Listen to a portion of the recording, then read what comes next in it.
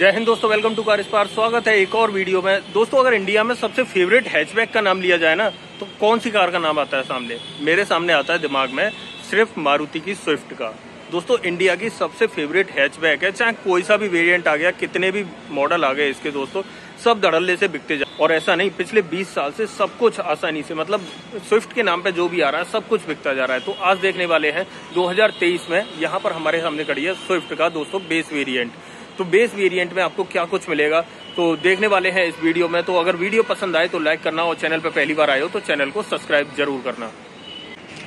तो दोस्तों फाइनली सामने है स्विफ्ट का एल वेरियंट मतलब बेस वेरिएंट अगर स्विफ्ट की शुरुआत कही जाए ना दोस्तों तो पेट्रोल में एल वेरिएंट से ही स्विफ्ट की शुरुआत हो जाती है। ठीक है? तो सबसे पहले बात करेंगे कीमत की। तो बेस वेरिएंट की कीमत कितनी होनी चाहिए, ये जानना भी ज़रूरी है। तो सबसे पहले एक्स शोरूम कीमत देख लेते हैं। पाँच लाख निन्यानवे हज़ार रुपए की आपको एक्स शोरूम देखने के लिए मिलती है। इंजन है ग्यारह सौ सत्तानवे सीसी का फोर सिलेंडर इंजन। अगर इंजन टाइप की बात करें तो के सीरीज़ डुअल जेट इंजन आपको देखने के लिए मिलेगा। उसके बाद अट्ठासी पॉइंट पचास बी की पावर और 113 न्यूटन मीटर का टॉर्क गाड़ी के अंदर देखने के लिए मिलता है। एआरआई माइलेज दोस्तों बहुत ही शानदार है। बाईस किलोमीटर पर लीटर का माइलेज आपको यहाँ पर ये गाड़ी निकाल के देती है। ऐसा कंपनी क्लेम करती है। लेंथ वगैरह देख लेते हैं तो अड़तीस सौ mm की लेंथ मिलती है। चौड़ाई की बात करें तो सत्रह सौ mm की चौड़ाई मिलती है। अगर ऊंचाई की बात करें तो पंद्रह सौ mm की आपको गाड़ी की ऊंचाई देखने के लिए मिल जाती है। व्हील बेस है गाड़ी का दोस्तों 2450 एम mm का। और अगर ग्राउंड क्लियरेंस की बात करें तो 160 एम mm का आपको ग्राउंड क्लियरेंस देखने के लिए मिलता है। तो अब देखते हैं फ्रंट से आपको क्या कुछ देखने के लिए मिलेगा। तो सबसे पहले देखिए फ्रंट में। हेडलाइट में कोई भी बदलाव नहीं है, सब कुछ ऐसे के ऐसे ही चला आ रहा है पहले से। तो फ्रंट में देखिए, यहाँ पर रिफ्लेक्टर बेस्ड आपको कुछ इस तरीके से हेडलैम्प मिल जाते हैं। इंडिकेटर यूनिट भी यहाँ मिल जाती है। बेस वेरिएंट है दोस्तों, फॉग लाइट का मतलब बनता ही नहीं है। उसके बाद देखिए फ्रंट ग्रिल, कुछ ऐसी मिलने वाली है। मैट ब्लैक फिनिश में है, लेकिन सामने फ्रंट में जो ये है, क्रोम की लाइनिंग, ये बेस से लेकर टॉप वेरिएंट तक एज इट इज़ आपको ऐसे ही मिलती है। उसके बाद सुजुकी का लोगो यहाँ पर मिलता ही है। साइड प्रोफ़ाइल की बात करें तो बेस वेरिएंट की एक पहचान होती है दोस्तों फ्रंट फेंडर पे इंडिकेटर तो वो आपको यहाँ पर एज अ गिफ्ट मिलने वाला है। और अगर टायर साइज़ की बात करें तो यहाँ पर आपको एक सौ अस्सी की प्रोफ़ाइल के साथ चौदह इंच का स्टील रिम मिलता है। फ्रंट में आपको डिस्क ब्रेक मिल जाता है रियर ड्रम ब्रेक मिलता है। ओआरवीएम की बात करें तो मैट ब्लैक फिनिश में मिलेगा बॉडी कलर में नहीं मिलने वाला है। डोर हैंडल्स भी आपको मैट ब्लैक फिनिश में मिलेंगे बॉडी कलर में नहीं मिलेंगे। ठीक है? और पीछे की तरफ़ चलते हैं तो यहाँ पर देखिए डोर हैंडल ये रियर डोर को ओपन करने के लिए सबसे पहले शेब्रोले बीट के अंदर ये फीचर आया था। उसके बाद दोस्तों यहाँ पर इंडिया में कई गाड़ियों के अंदर आ गया। ऊपर बात करें तो एंटीना कुछ ऐसा आपको देखने के लिए मिल जाता है। पीछे की तरफ़ देखें तो हाई माउंट स्टॉप लैम्प मिल जाती है। न डिफोगर मिलेगा, न रियर वाइपर मिलेगा। यहाँ पर देखिए स्विफ्ट लिखा हुआ मिल जाता है। यहाँ पर सुजुकी का लोगो मिल जाता है। अगर टेल लाइट की बात करें तो रेड कलर के ऊपर दोस्तों टेल लाइट बहुत ही शानदार लग रही है। बस आपको यहाँ पर ये पार्ट जो है, ये ज़्यादा शो हो रहा है। ठीक है, उसके बाद चार रिवर्स पार्किंग इंडिकेटर एक, दो, तीन, चार। रिवर्स पार्किंग इंडिकेटर मिल जाते हैं। तो ये है कुछ इसका बाहर का प्रोफ़ाइल उस तरफ़ चल के फ्यूल टैंक की बात और कर लेते हैं।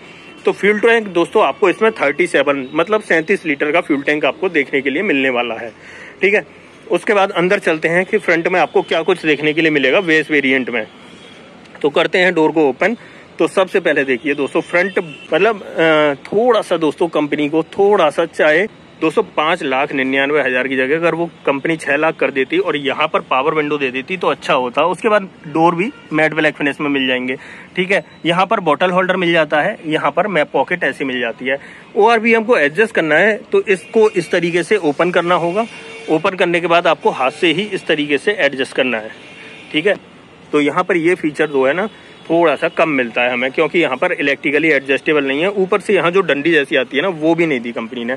उसके बाद करें तो यहाँ पर फिक्स्ड हेडरेस्ट देखने के लिए मिल जाएँगे चारों ही सीटों के अंदर, ठीक है? कुशनिंग की बात करें तो यहाँ पर फेब्रिक जो है ब्लैक कलर में देखने के लिए मिलेगा, लेकिन सीटिंग साइज़ में कोई चेंज नहीं है, वो ऐसा ही मिलने वाला है। अंदर भी सब कुछ आपको डैशबोर्ड वगैरह ब्लैक कलर में ही मिलने वाला है। सब जगह ब्लैक का टच ही देखने के लिए मिलेगा। अंदर अगर बैठकर देखें तो यहाँ पर देखिए फ्रंट में ट्रैक्शन कंट्रोल मिल जाता है, हेडलाइट एडजस्टेबल मिल जाता है। एसी वेंट आप जानते ही हैं कैसा मिलता है, लेकिन बेस वेरिएंट में जो इंस्ट्रूमेंट क्लस्टर है ना, वो दोस्तों यहाँ पर आपको छोटा सा और सिंगल यूनिट इस तरीके से मिलने वाली है, जिसमें आपको सिर्फ़ स्पीडोमीटर दिखाई देगा। ठीक है? बाकी यहाँ पर आपको इंडिकेटर वगैरह दिख जाएँगे। छोटी सी एम बीच में दी गई है और मोड चेंज करने के लिए यहाँ पर ये एक दो डंडी दे दी गई है। स्टेयरिंग की बात करें तो स्टेयरिंग के अंदर टिल्ट का ऑप्शन आपको मिल जाता है, लेकिन स्टेयरिंग पे और कोई भी स्टेयरिंग माउंटेड कंट्रोल नहीं मिलता। दो एयरबैग तो मिलेंगे ही देखने के लिए, एक यहाँ पर मिल जाता है और एक पैसेंजर साइड में मिल जाता है। एसी वेंट यहाँ पर ऐसे मिलेंगे, हेजार्ड का बटन यहाँ पर मिल जाता है। और यहाँ पर देखें तो यहाँ पर आपको जो है कोई भी कैसा भी इंफोटेनमेंट सिस्टम नहीं मिलेगा, ना ही कोई स्पीकर मिलेगा। यहाँ पर एसी की बात करें तो यहाँ मैनुअली ऑपरेटेड एसी कंट्रोल्स मिल जाते हैं। नीचे की तरफ़ देखें तो यहाँ पर 12 वोल्ट का सॉकेट मिल जाएगा और यूएसबी पोर्ट तो कोई मिल नहीं रहा है।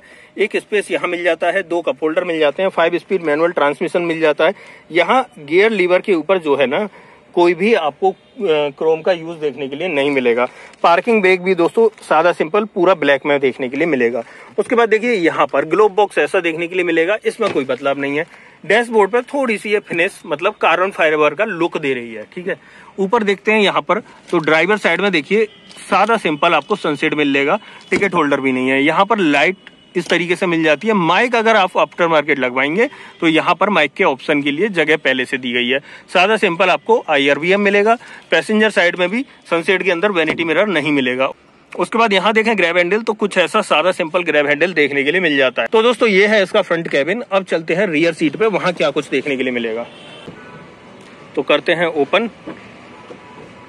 तो दोस्तों आगे जब पावर विंडो नहीं मिल रही तो पीछे कहाँ से मिलेगी?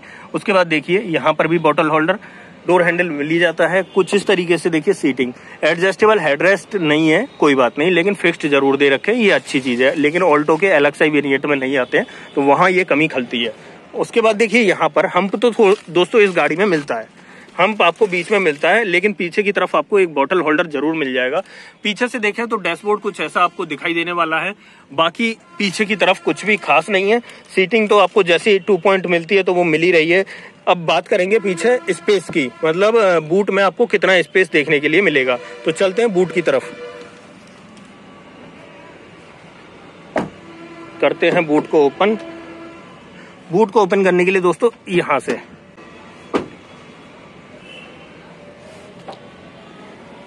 ये देखिए, दो सौ अड़सठ लीटर का बूट स्पेस आपको देखने के लिए मिलता है गाड़ी के अंदर। दूसरी चीज़, ये जो सीटें हैं ना, ये आपको जो है, पूरी हंड्रेड परसेंट अगर चाहो तो स्प्लिट हो जाती है उस तरफ़ मतलब फोल्ड हो जाएगी, ठीक है? उसके बाद देखें यहाँ पर तो यहाँ पर एक बहुत अच्छी चीज़ है कि यहाँ पूरा कवर करके दिया गया है वेल मेंटेन है यहाँ पर। यहाँ पर एक हुक मिल जाता है और इस तरफ़ देखिए जैक वगैरह रखने के लिए आपको एक इस तरीके से होल्डर मिल जाएगा, जिसके अंदर आपको जैक वगैरह सब कुछ आसान अच्छे से मिल जाता है। यहाँ पर अगर स्पेयर व्हील को देखें तो स्पेयर व्हील के साइज़ में अगर देखना चाहें, एक सौ पैंसठ, अस्सी आर चौदह, कोई कटौती नहीं कही।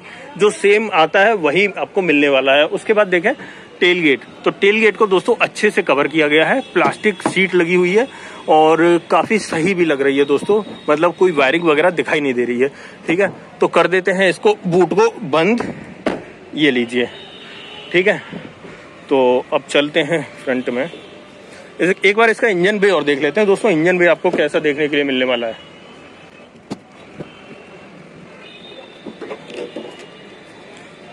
तो ये देखिए दोस्तों, ये है इसका कुछ इंजन इस तरीके से। उसके बाद देखिए, यहाँ पे भी आइसोलेशन सीट लगाई गई है। काफ़ी सही है दोस्तों। ये ये जो सीट है ना, ये जो है साउंड और वाइब्रेशन वगैरह को कम करती है। उसके बाद देखिए, अंदर की तरफ़ भी आप देख सकते हैं, ये सीट उस तरफ़ भी लगी हुई है, अच्छे से। ठीक है? तो ये है कुछ इस तरीके का सेटअप और के फिफ्टीन सीरीज़ का डुअल जेट इंजन ठीक है? कर देता हूँ मैं इसे बंद। ठीक है? तो ये थी दोस्तों स्विफ्ट के बेस वेरिएंट एलएक्सआई की वीडियो अगर वीडियो पसंद आई हो तो लाइक करना और चैनल पर पहली बार आई हो तो चैनल को सब्सक्राइब ज़रूर करना। मिलते हैं किसी नेक्स्ट वीडियो में।